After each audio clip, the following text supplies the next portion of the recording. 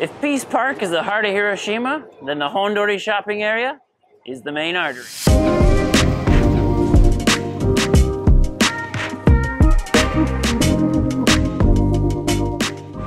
Welcome to the Hiroshima Hondori Shopping District, or it is widely known in Hiroshima as Hondori. It is easily the most lively part of town, attracting an average of 100,000 people a day pre-corona. Hondori stretches approximately 577 meters spanning from the Hiroshima Peace Memorial Park to the Parco Shopping District. There's a huge variety of stores lining the street.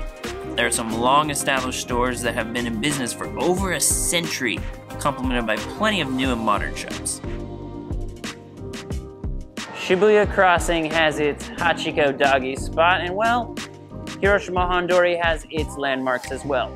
We've got three spots. The first one is the Sun Mall shopping area. Number two is the McDonald's by the Big Crossing. And number three is the shopping district at Parco.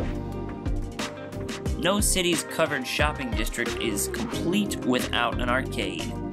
We found an arcade here on Hondori where you can find plenty of crane games. These crane games compile up to two floors in this building. You must be making money, right? Hondori is a lively and clean place to hang out and a must-see place for travelers passing through. There are great places to see and to eat. Speaking of which, I'm getting a little hungry. Let's go find something to eat. And here we are at the Okonomiyaki Mura. Okonomiyaki Mura literally means Okonomiyaki Village. And it has 24 different shops with the specialty here in Hiroshima, which is called Okonomiyaki. Okonomiyaki is a mixture of all kinds of different ingredients that originated back to post-war time. And we're gonna go check them out. So okonomiyaki was made after the war in Hiroshima when people didn't have a lot of rice. So they would put some of the toppings together, uh, some of the things that they just had available. And uh, here's the product. So on the internet, it goes around as a savory pancake a lot of time. I don't really know what the pancake is. It, it's, it's, you know, batter with noodles and lettuce and things like that. But some date sauce and some of the toppings that you really love. Oh, delicious. The food here is great, and with 24 individual okonomiyaki booths, the atmosphere is always incredibly lively.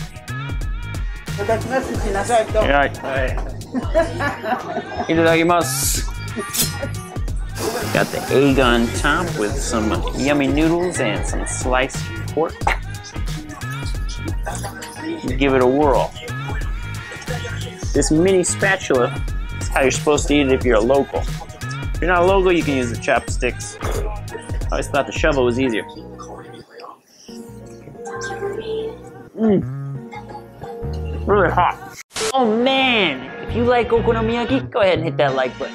So that was Hondori and the Okonomiyaki Village. We really hope you guys enjoyed both those places and would love to see you in this area. Remember, our channel does lots of stuff about Japan and Hiroshima specifically, and if you're looking for an apartment, hit us up. We love to help you out. All right, guys, we'll see you in the next video.